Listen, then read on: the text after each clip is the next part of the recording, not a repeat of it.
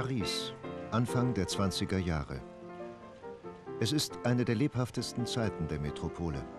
Die Weltstadt an der Seine ist der Traum eines jeden Künstlers, Bohemians, Intellektuellen.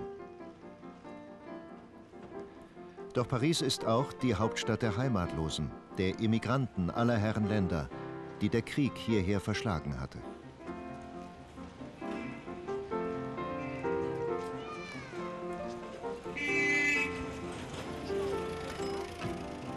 Jenen Jahren gesellte sich zu den Stammgästen des Café de la Paix eine Gestalt, die allgemein Neugier erweckte. Der neue Gast, etwa Mitte 50, schien so etwas wie ein Schriftsteller zu sein. Sein Name Georg Iwanowitsch Gurdjew. Das Café de la Paix war, wie er sagte, sein Büro. Rund 70 Kilometer südöstlich von Paris, nahe Fontainebleau, hatten Gurdjew und seine Schüler den Landsitz Prieuré d'Avon erworben. Gurdjew gründete dort eine Gemeinschaft, die sofort große Neugier in Paris erregte.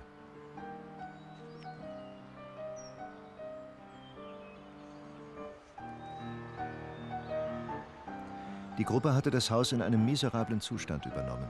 Gurdjew schreibt, als ich durch die Pforten des Château die Prieuré trat, war es so, als würde ich sofort nach dem Portier von Madame Grand Problème begrüßt.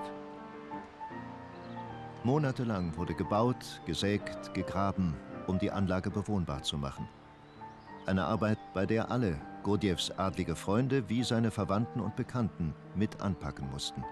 Sehr zum Erstaunen der Pariser High Society. In der Prieuré hat sich zu den Schülern aus Russland eine exquisite Gesellschaft illustrer Persönlichkeiten gesellt. Fürstinnen, Ärzte, Architekten, Musiker, Verleger, Kritiker. Die meisten trugen einen bekannten Namen. Anfangs kamen Engländer, später schlossen sich ihnen Amerikaner an.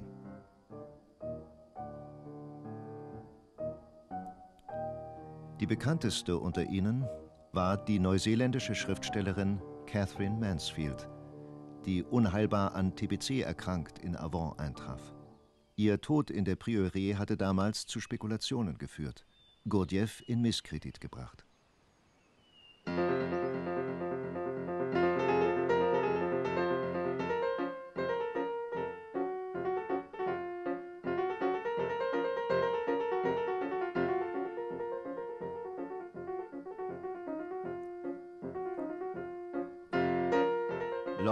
Rosenthal spielt den kaukasischen Tanz aus der Serie Asiatische Lieder und Rhythmen.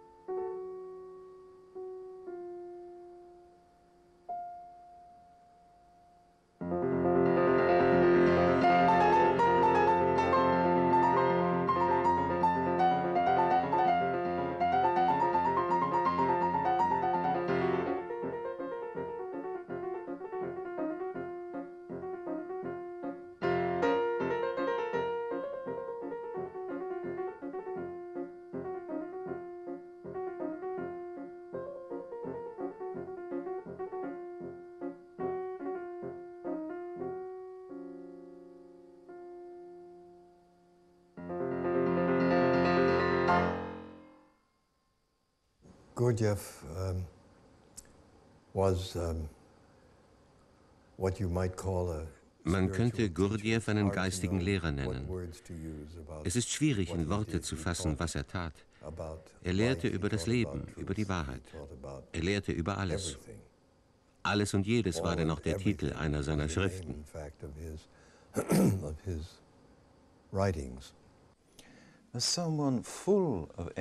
Er war jemand voller Energie und unglaublich fesselnd. Ich denke, es war dieses Gefühl seiner Anziehungskraft, das mich zu ihm führte.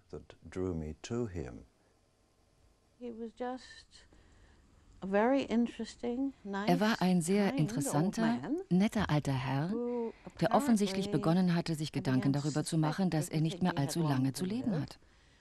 Die anderen sprachen ihm gewaltige Kräfte und sonst etwas zu, doch er schien sich auf den Tod vorzubereiten. Wieder andere schöpften Energie von ihm und so weiter und so fort. Ich aber sagte, tut mir leid, lasst ihn in Ruhe. Gewiss, heute gibt es all diese Geschichten, die die Leute von dem großen Meister erzählen und was sie mit ihm erlebt haben. Wir Jungen, die direkt mit ihm arbeiteten, merkten nichts von all dem see any of that.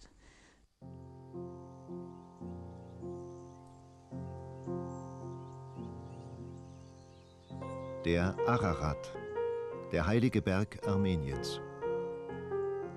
Und die verlassene Stadt Ani, ehemals Hauptstadt der Bagratiden, der Könige von Armenien.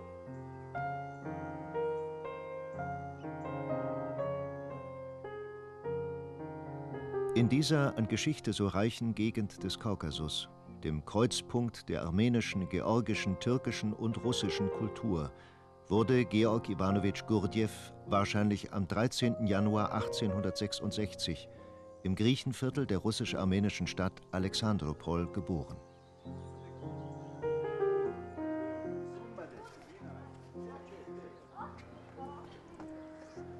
Der ziemlich verkommene Garnisonsort verteidigte damals Russlands Grenze zur Türkei. Wer klug war, meldete dort keine Geburt, ließ sich vorsichtshalber nicht registrieren, da die Landesgrenze sich ständig verschob. In diesem Haus soll Gurdjew geboren worden sein. Sein Vater, Ioannis Georgiadis, war Grieche. Seine Mutter Armenierin.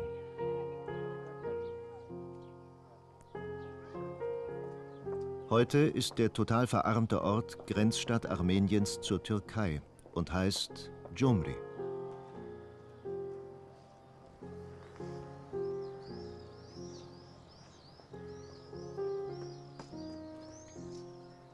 Erdbeben und Kriege haben das Gesicht der Stadt gezeichnet.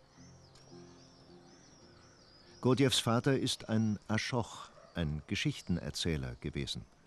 Eine Tradition, die bis heute im Kaukasus fortlebt und oft vom Vater an den Sohn weitergegeben wird.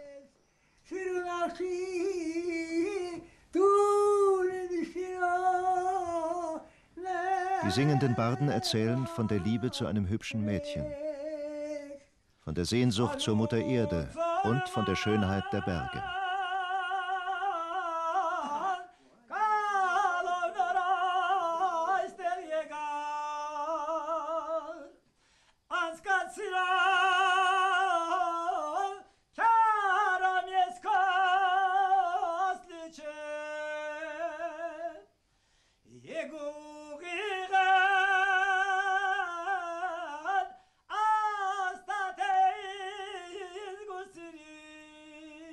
Durch die Reisen des Vaters als Aschoch lernt Gurdjew auch Vater Borsch, den Erzpriester der Garnisonskirche im 60 Kilometer entfernten Kars, kennen.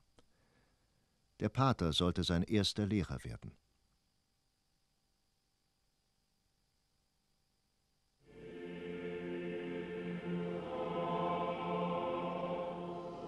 Georg Iwanowitsch sang im Chor der russisch-orthodoxen Gemeinde von Kars besuchte dort die russische Schule.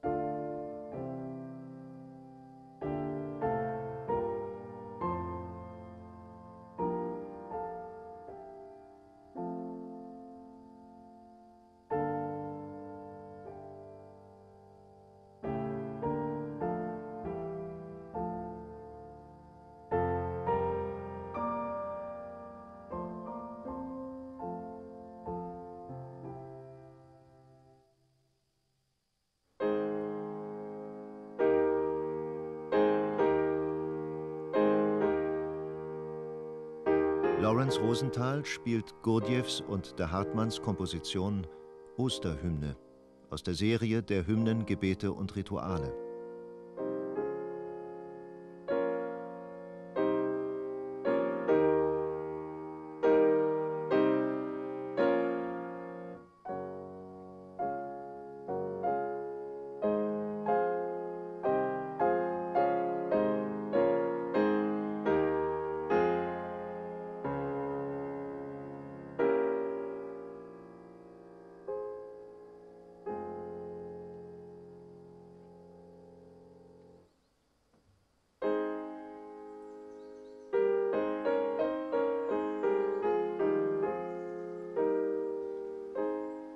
Friedhof von Alexandropol. Während seiner Wanderjahre hatte Gurdjieff immer wieder seinen Geburtsort als Mittelpunkt seines Lebens gewählt. Eine stete Beziehung, die erst 1918 endgültig abbricht, als die Türken die Stadt einnehmen und auch Gurdjieffs Vater dem Massaker zum Opfer fällt. Trotz aller Bemühungen war es dem Sohn nicht gelungen, ihn vor den Kugeln der Türken zu retten. Erst viel später wurden Gurdjieffs letzte Worte an den geliebten Vater auf den Grabstein gemeißelt. Ich bin du, du bist ich, er ist unser, beide sind wir sein. So sei alles für unseren Nächsten.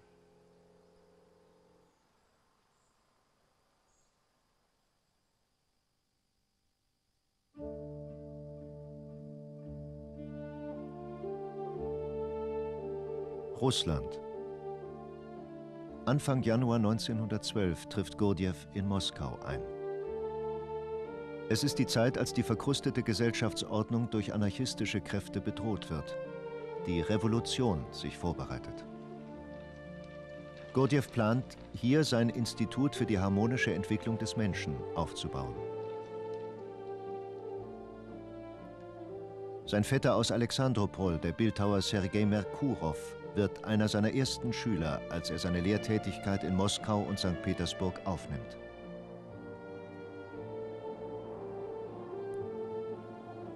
Gurdjieff führt ein mysteriöses Doppelleben, ist tagsüber Bohemien, nachts Fürst Osei. Ständig pendelt er zwischen der Stadt an der Wolga und der Hauptstadt St. Petersburg hin und her. Und er hat beste Beziehungen zum Zarenhof, kennt Nikolaus II. sogar persönlich.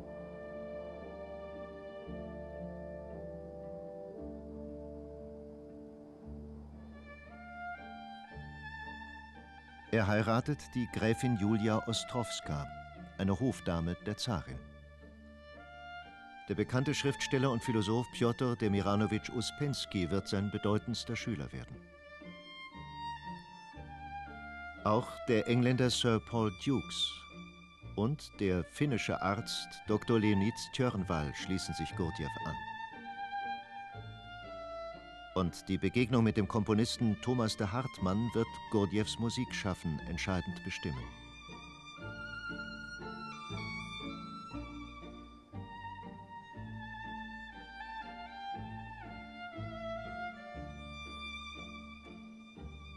Beginnen in Russland, beenden in Russland hatte Gurdjieff kurz vor seinem Tode zu seinem Lebenswerk gesagt. Was immer diese rätselhafte Bemerkung bedeuten mag, sie weist auf seine schmerzliche Trennung von Großrussland im Jahre 1917 hin. Und wieder einmal ist Tiflis, die Hauptstadt Georgiens, sein Ziel.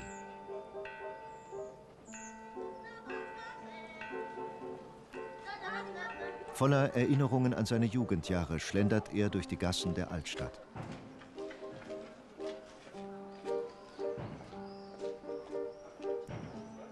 Gurdjieff fand bei seinen Vettern ein Dach über dem Kopf. Inzwischen hatte sein Bruder Dmitri die Tochter des Erzbischofs von Tiflis geheiratet und konnte ihn auch mit etwas Geld unterstützen.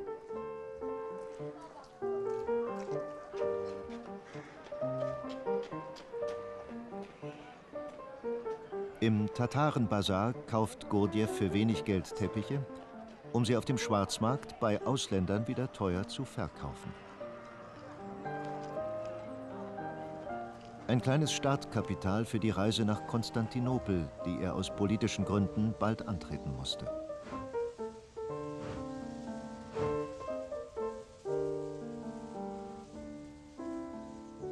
Gurdjieff, at a very young age, we're not exactly sure when, after having grown up in this crossroads Nachdem er an diesem Kreuzweg, in diesem Schmelztiegel der Kulturen aufgewachsen war, entschloss sich Gurdjieff in sehr jungem Alter, wir wissen nicht genau wann, die Reise zu unternehmen, die seine wichtigste Frage, sein größtes Verlangen befriedigen sollte. Die Frage nach dem Sinn und Zweck der menschlichen Existenz. And that is to find out what is the aim and sense of man's existence. This was a complete passion with him. Dies war und blieb seine Leidenschaft sein ganzes Leben lang. So zog er los mit einer Gruppe von Freunden, die sich Sucher der Wahrheit nannten. Sie machten extrem weite Reisen, kreuz und quer durch Zentralasien, bis hin nach Tibet und in die Wüste Gobi. Uh, Gurdjieff besuchte auch Ägypten, fuhr sogar ins Heilige Land. And um, in all of these places, while an all diesen Orten lebte er mit Mönchen, Derwischen und geistigen Meistern jeder Art und jeder Religion zusammen. Buddhisten, Christen, Hindus. He, he gradually uh, er nahm dabei nicht nur allmählich die einzelnen Lehren in sich auf, sondern prägte sich auch, da er sehr musikalisch war, die Musik ein, die er in vielen dieser fernen Tempel und Klöster hörte.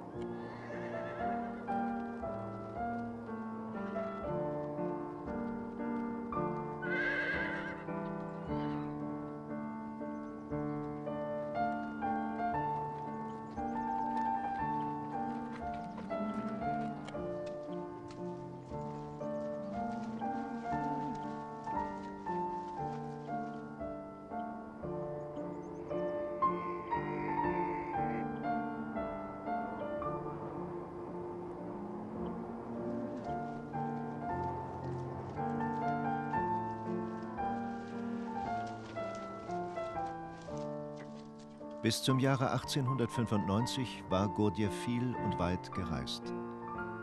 Er hatte als Muslim getarnt Mekka und Medina besucht, war in Abessinien, im Sudan, in Babylon gewesen.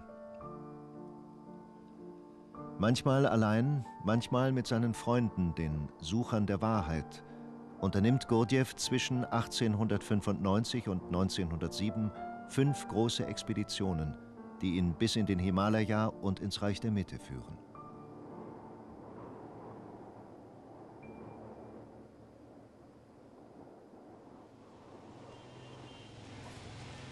Kashgar, westlichste Grenzstadt Chinas in der autonomen Region Xinjiang, am Rande der Taklamakan-Wüste. Seit Jahrhunderten Kreuzpunkt der Handelsstraßen zwischen Okzident und Orient. Eine alte Fotografie, eine Daguerreotypie, zeigt Gurdjieff in der Hauptstadt der Uiguren. Es ist eines der ersten Fotos von ihm. Ganz orientalischer Geschäftsmann hatte er damals von Kashgar aus Viehtransporte organisiert sowie in seltene Teppiche und chinesische Goldemai-Arbeiten investiert.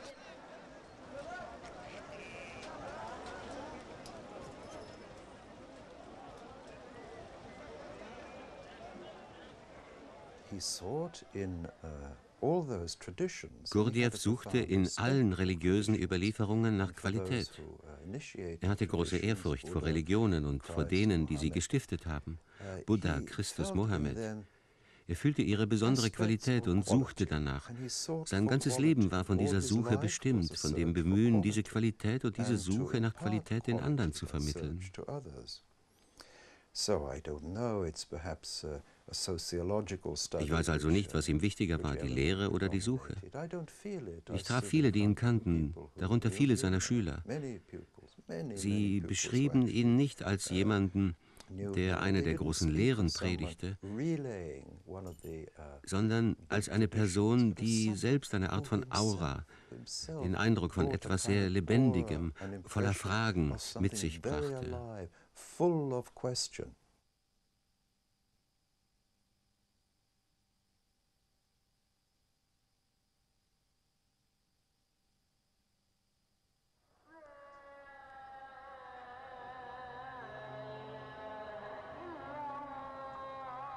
Bochara Sharif, das noble Bochara, war im 9. und 10. Jahrhundert die Säule des Islam, religiöses und kulturelles Herz Zentralasiens. Der Wissenschaftler und Philosoph Ibn Sina, Avicenna, wie ihn die Griechen nannten, und Persiens große Dichter Ferdowsi und Rudaki lebten hier. Um 1898 besuchte Gurdjieff die uralte Stadt an der Seitenstraße, weil er in ihrer Nähe die Weisheitsschule des Sarmung-Klosters vermutete,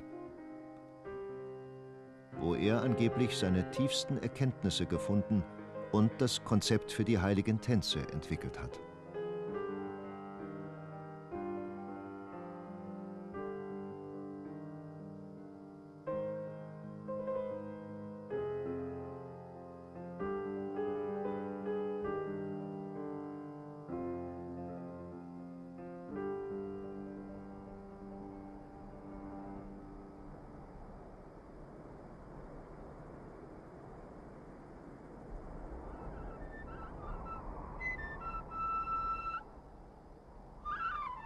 Schwer lassen sich Gurdjieffs Wege genau verfolgen. Bochara, Samarkand, Taschkent. Seine geheimen Wege kreuzen sich nicht mit denen der großen Geographen und Abenteurer jener Epoche, von Sven Hedin bis Paul Pelliot, denn er plündert nicht wie sie wertvolle Ausgrabungsstätten. Seine Spuren finden sich eher in Kompositionen wieder, die von der Musik jener Völker inspiriert wurden, wie hier von den usbekischen Tänzen in Samarkand.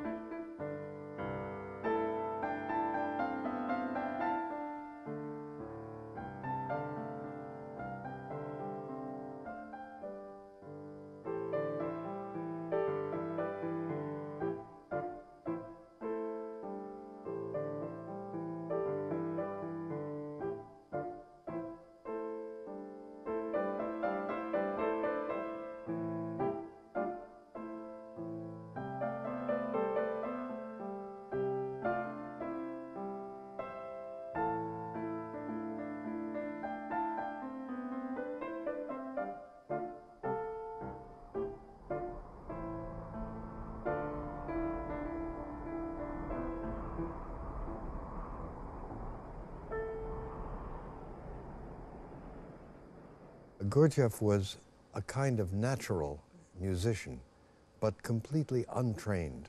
Gurdjieff war ein musikalisches Naturtalent. Allerdings fehlte ihm jede Übung. Er spielte Gitarre und ein bisschen Harmonium, doch war er keinesfalls ein ausgebildeter Musiker.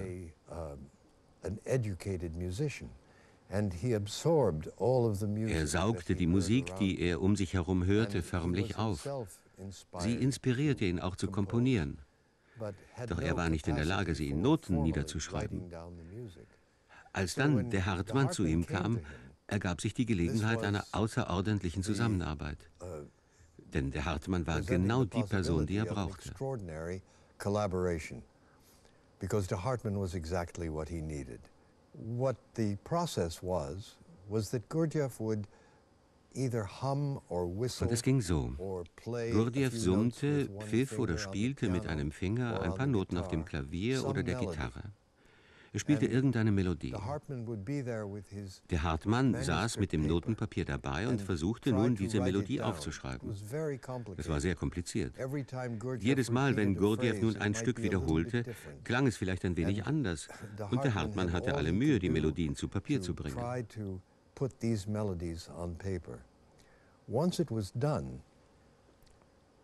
War diese Arbeit erledigt, hatte er die Melodie schwarz auf weiß vor sich. Nun bat Gurdjieff ihn, die Melodie in die richtige Harmonie zu setzen. Der Hartmann schlug verschiedene Akkorde an. Gurdjieff hatte ein sehr gutes musikalisches Gehör. Wenn also ein gewisser Akkord nicht stimmte, verbesserte er der Hartmann sofort.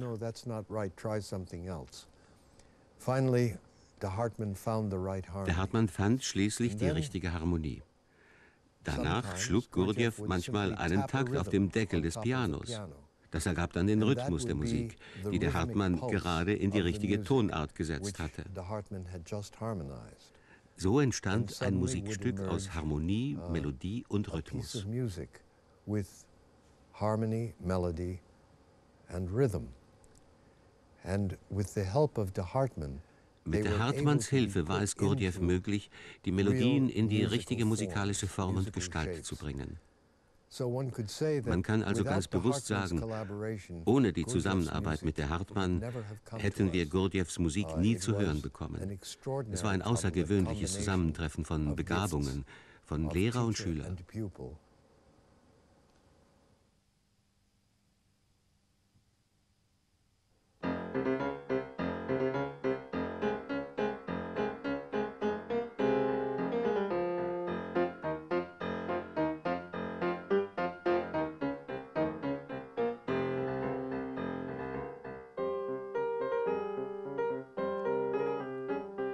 Lawrence Rosenthal spielt den maurischen Derwisch-Tanz aus der Serie Musik der Sayyiden und Derwische.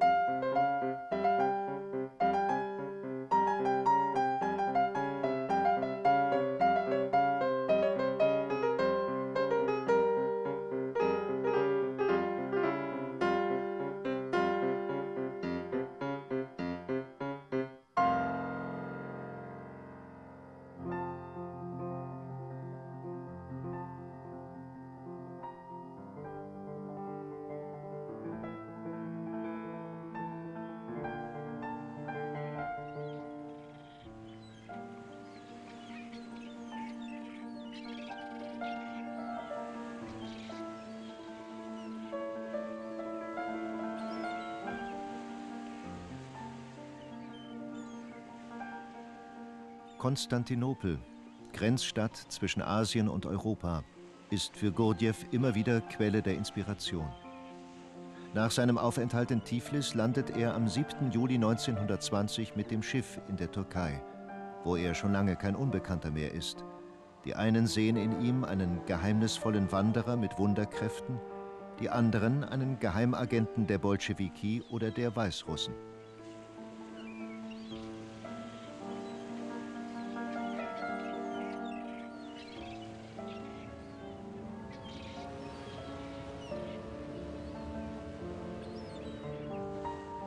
Über 30 Jahre zuvor war Gurdjieff als Halbwüchsiger durch das Europäerviertel Perda gestreift, besessen von vielerlei Art von Derwisch-Unsinn, wie er später sagen wird.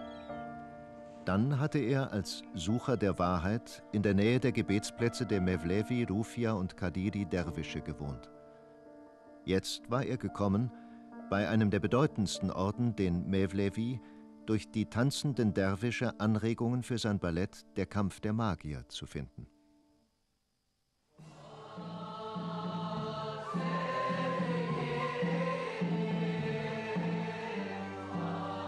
Wochenlang besuchte Gurdjieff mit seinen Schülern Ospensky und der Hartmann die Vorführungen der Mevlevi-Derwische. Sammelte er Ideen und Musik für die Kompositionen und Choreografien seiner heiligen Tänze, die Movements.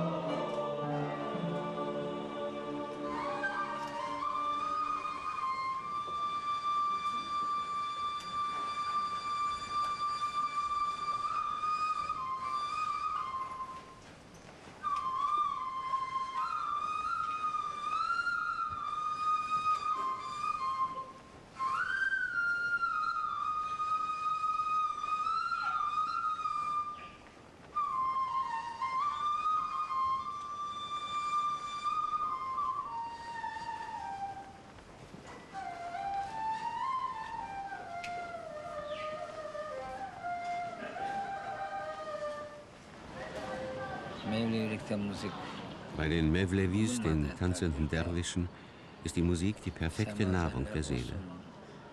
Ohne Musik können die Mevlevis nicht von dieser in eine andere Welt gelangen. Die Musik holt den Tänzer ab und führt ihn in diese andere Welt. Ganz wichtig dabei ist die Ney, die Flöte. Sie ist das himmlische Instrument für die Derwische. Wird sie vom Atem eines wahren Meisters beseelt, ergreift sie die Seelen der tanzenden Derwische und aller anderen Mitglieder des Mevlana-Ordens. Sie führt sie in mystische Welten. Der Klang der Ney ist der perfekte Meister der Seele. Musik tamamen bir ruh gıdasıdır.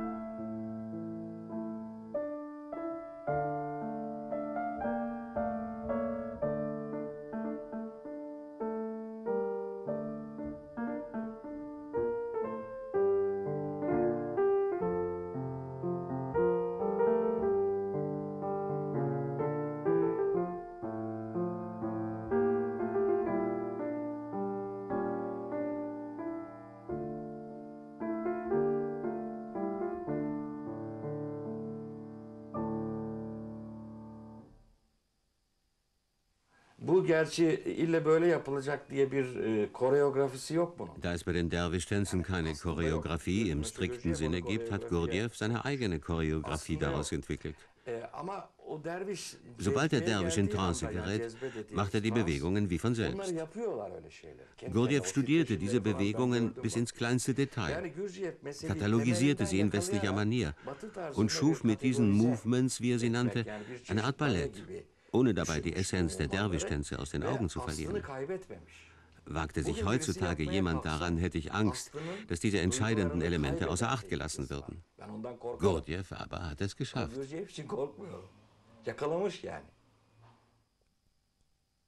1921 wird Gurdjieff nach Dresden-Hellerau eingeladen, um dort sein Werk fortzusetzen.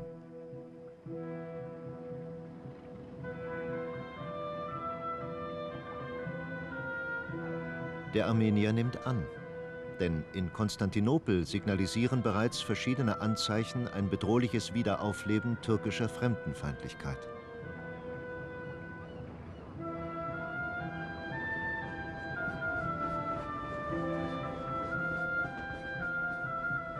Nach neun Tagen Irrfahrt durch das verwüstete Nachkriegseuropa gelangt Gurdjieff ins Berlin der legendären 20er Jahre.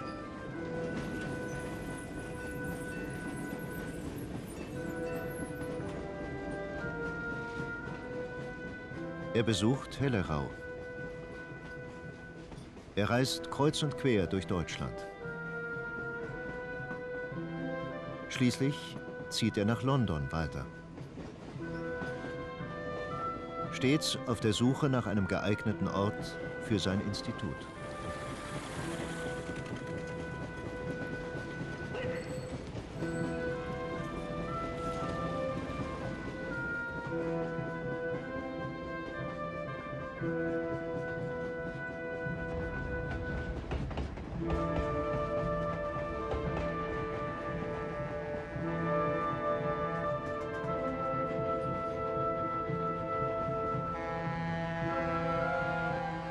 Endstation seiner Odyssee ist Paris, wo er endlich im Juli 1922 eintrifft.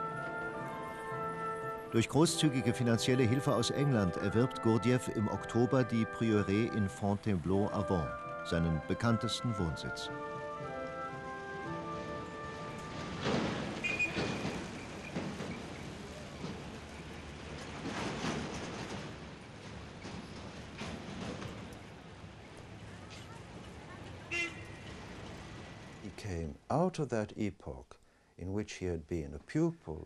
Gurdjieff hatte lange Jahre des Lernens hinter sich, in denen er zu einer Lehre gefunden hatte, die alle Aspekte des Menschen mit einbezog.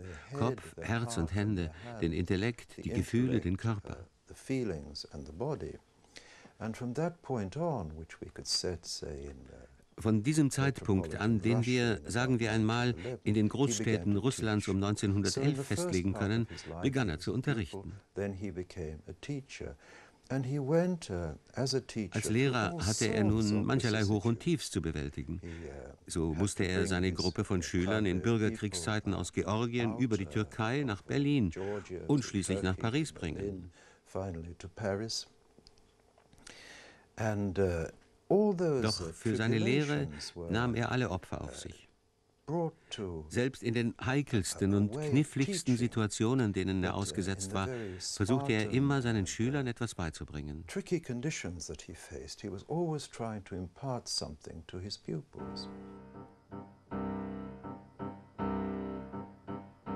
In der Prioret kann Gurdjieff intensiv an seinen Movements, den heiligen Tänzen, arbeiten. Als Ballettimpresario Diaghilev einen der öffentlichen Abende im Study House des Instituts besucht, ist er so begeistert von den Movements, dass er sie als Neuheit in seine Ballet Russe mit einbeziehen möchte.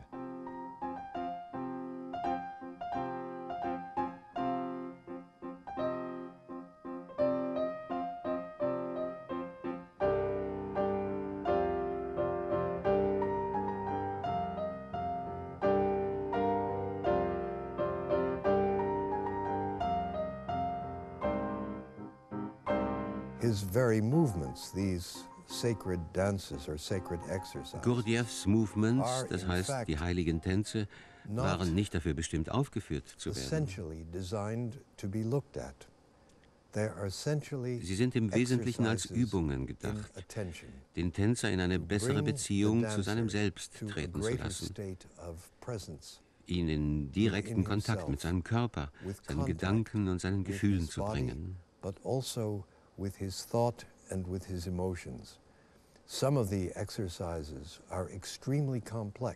Einige der Übungen sind äußerst kompliziert. Nur einer Person, deren Geist von allem frei ist, gelingt es, die Vielschichtigkeit der Choreografie, der Movements und die komplizierten Positionen in Einklang zu bringen. Höchstwahrscheinlich haben die Movements ihre Wurzeln in gewissen Übungen, die Gurdjieff bei den Derwisch-Tänzen in Zentralasien gesehen hat. Gurdjieff erwirbt ein Appartement in der Rue du Commandant Marchand indem er die Größen des Tupari empfängt.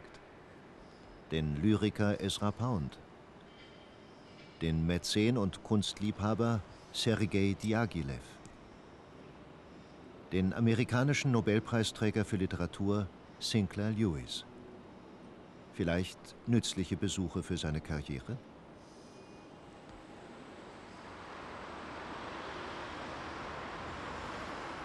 Am 16. Dezember 1923 lässt Gurdjieff im Théâtre des Champs-Élysées die Movements und heiligen Tänze zum ersten Mal für das Pariser Publikum mit großem Orchester aufführen. Es dirigiert Thomas de Hartmann.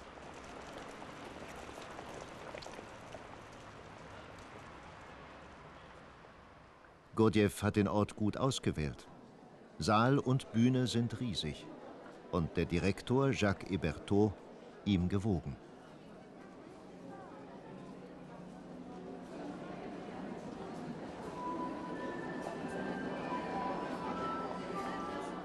Die gesamte Intelligenzia, die Avantgarde und die übrige Kulturschickeria ist erschienen. Der Name Gurdjieff ist jetzt in aller Munde. Gezeigt wird ein Programm, das die Vielfältigkeit der Arbeiten des Instituts vorstellt. Von rituellen Übungen bis zu Derwisch-Tänzen aus Afghanistan, Turkestan und Kashgar.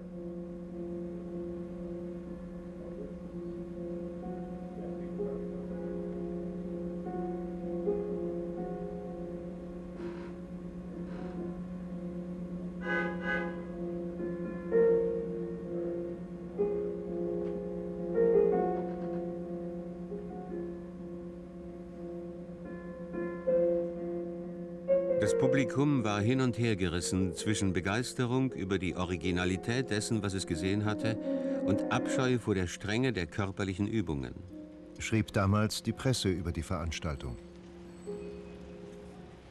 Für Gurdjieff beginnt nun eine Periode intensiver Amerikareisen, die er bis ins hohe Alter beibehält. Im Januar 1924 schifft er sich mit 35 Tänzerinnen und Tänzern nach New York ein um zur Finanzierung seines Instituts in verschiedenen Städten des Ostens öffentliche Vorstellungen zu geben. Nach Frankreich zurückgekehrt, muss er wiederum wegen finanzieller Probleme die Wohnung wechseln. Auf der Fahrt von Paris nach Fontainebleau verunglückt der passionierte Autofahrer, der wie ein Wilder rast, fast tödlich. Von Ehefrau Julia und der Mutter gepflegt, erholt er sich wieder, entgegen allen ärztlichen Erwartungen. Im August 1924 löst er das Institut aus Geldmangel formell auf. Unter Anleitung des Pianisten Thomas de Hartmann konzentriert er sich von nun an vollkommen aufs Komponieren. For three years, approximately between 1924 in drei Jahren, ungefähr zwischen 1924 und 1927, schufen Gurdjieff und der Hartmann über 300 Kompositionen. Nur rund 160 von ihnen sind vollendet. Es war ein gewaltiges Arbeitspensum. Jede Komposition ist datiert. Daraus kann man entnehmen, dass Gurdjieff fast jeden Tag mit der Hartmann etwas komponiert hat. Manchmal sogar mehr als ein Stück am Tag.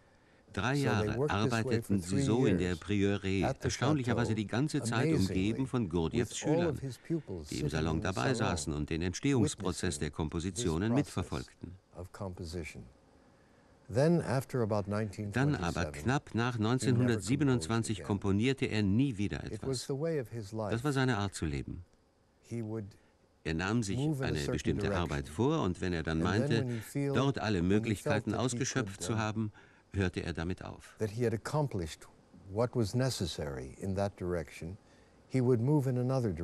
Selbst die Arbeit an den Movements, für die er sich persönlich uh, sehr engagierte, gab er für einige Jahre auf. Erst als Madame Jeanne de Salzmann ihn erneut dazu aufmunterte und inspirierte, beschäftigte er sich wieder mit ihnen. Jeanne de Salzmann, he resumed working on the movements which he had uh, abandoned for quite a few years. Gurdjieff beschließt, seine Ideen künftig schriftlich zu verbreiten. Er schreibt sein Opus Magnum, Beelzebubs Erzählungen für seinen Enkel. Und seine Memoiren, Begegnungen mit bemerkenswerten Menschen.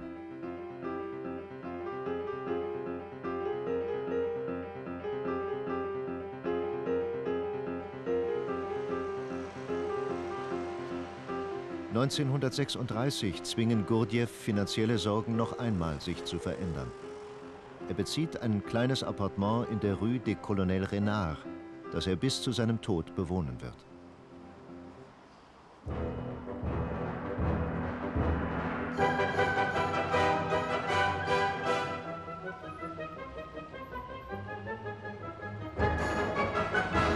Im Winter 1948 reist Gurdjieff ein letztes Mal nach Amerika, um die Veröffentlichung des Beelzebub seines Hauptwerkes voranzutreiben. Er hat für die USA-Reisen inzwischen einen Pass als Staatenloser erhalten. Gurdjieff ist in New York eine angesehene Persönlichkeit. Seine Movements haben Balanchine und das New York City Ballet beeinflusst. Seine Schülerin Olgivanna hat ihn mit ihrem Mann, dem Star-Architekten Frank Lloyd Wright, bekannt gemacht, der von Gurdjieff begeistert ist. Und in der Carnegie Hall doziert er vor einem interessierten Publikum.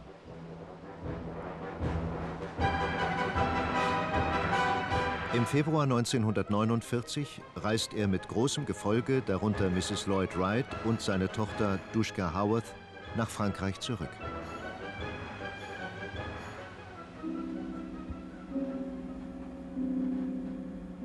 Seltene Aufnahmen von den Movements. Erinnerungen an ihren Vater. Sie ist eines von Gurdjieffs vier Kindern, die Amerikanerin Dushka Howarth. Heute lebt sie allein in New York. Lange ist das Showtalent als Topsängerin und Entertainmentstar auf Traumschiffen um die Welt gefahren. Aus den Aufzeichnungen ihrer Mutter Jasmine stellt sie Leben und Werk ihres Vaters in einem Buch zusammen. Der Titel It's Up to Ourselves, A Mother, a Daughter, Gurdjieff and Others. Als Gurdjieff Ende 1948 wieder einmal nach Amerika kam, wurden einige Personen, darunter auch ich, gefragt, ob wir seine Movements-Klasse besuchen wollten. Ich hatte ziemliches Interesse daran. Damals entschloss er sich, mir mitzuteilen, dass ich seine Tochter sei. Bis dahin hatte ich nur gewusst, dass der Vorname meines Vaters George und er Lehrer war. Das war nun schwierig für mich, denn ich konnte ihn mir wirklich nicht als Vater vorstellen. Ich sah ihn eher als den Lehrer meiner Mutter. Ich hatte allerdings durch sie schon viel von ihm erfahren.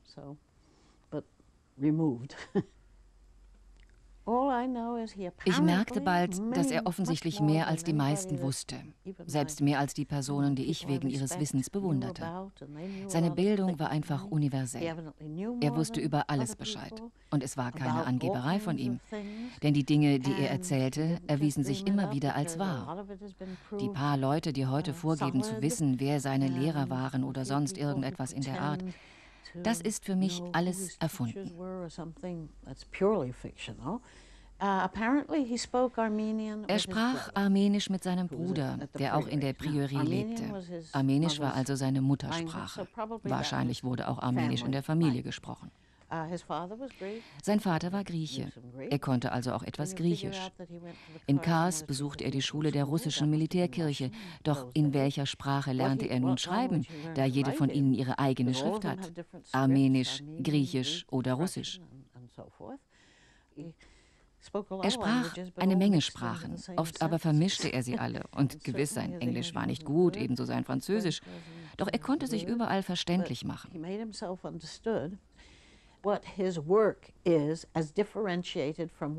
Gurdjieffs Schaffen unterscheidet sich grundsätzlich von fast allen anderen geistigen Lehren. Er nennt drei verschiedene Verhaltensweisen. Die Fakire erlangen die vollkommene Freiheit von den Zwängen des Körpers, indem sie das Fleisch absterben lassen. Die Mönche machen sich durch die leidenschaftliche Hingabe und den Glauben von den Zwängen der Gefühle frei. Und der Yogi befreit sich uh, durch Meditation von den Zwängen des Geistes. Jeder einzelne von ihnen hat sich dabei aber auf nur eine Fähigkeit beschränkt. Gurdjieff schlug daher den vierten Weg vor, der alle drei Elemente, Körper, Herz und Geist, in Harmonie verbindet. Daher nennt er auch sein Institut Institut für die harmonische Entwicklung des Menschen. Wenn also Körper, Gefühl und Geist zusammenarbeiten, entsteht der vierte Weg. Tun sie es nicht, schließt man sich vom Leben aus. Ein Amateurfilm zeigt die einzigen Live-Aufnahmen von Gurdjieff. Duschka kommentiert. Eine Reise nach Nevers.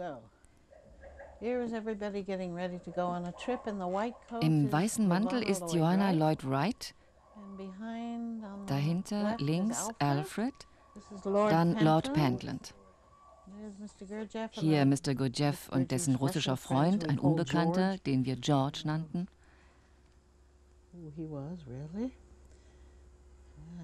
Hier sehen wir Gurdjieff und den Citroën, den er so gerne fuhr, was sehr erholsam für ihn war. Das ist Mrs. Sutter, die den Film drehte, während ich fotografierte. Sie hatte die Kamera jemandem gegeben, damit er sie in der französischen Landschaft filmte. Links Sophie Uspensky und rechts Gurdjieffs Schwester. Und das sind Madame de Salzmann und Rosemary Knott, Madame de Salzmann mit der schwarzen Bommelmütze.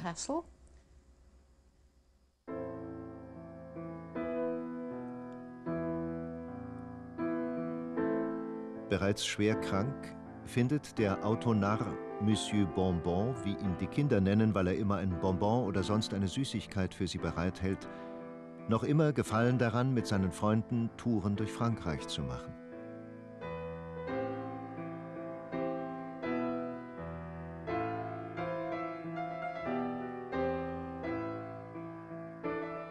Und er versucht, gegen Ende seines Lebens alles Begonnene zu vollenden.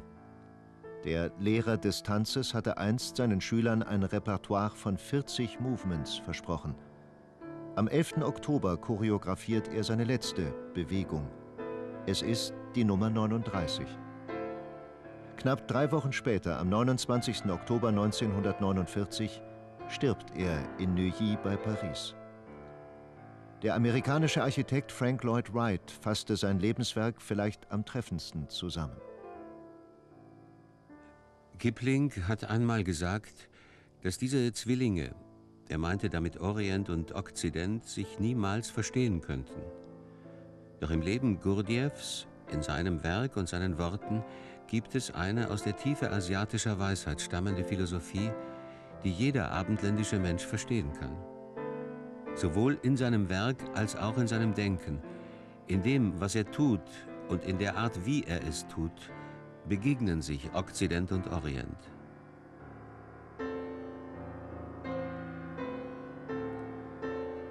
Georg Iwanowitsch Gurdjieff wird im Familiengrab in Fontainebleau-Avon zwischen seiner Frau und seiner Mutter beigesetzt. Seine treueste Schülerin und längste Gefährtin, Jeanne de Salzmann, verabschiedet ihn mit den Worten Wenn ein Lehrer wie Georg Iwanowitsch Gurdjieff geht, kann er nie ersetzt werden.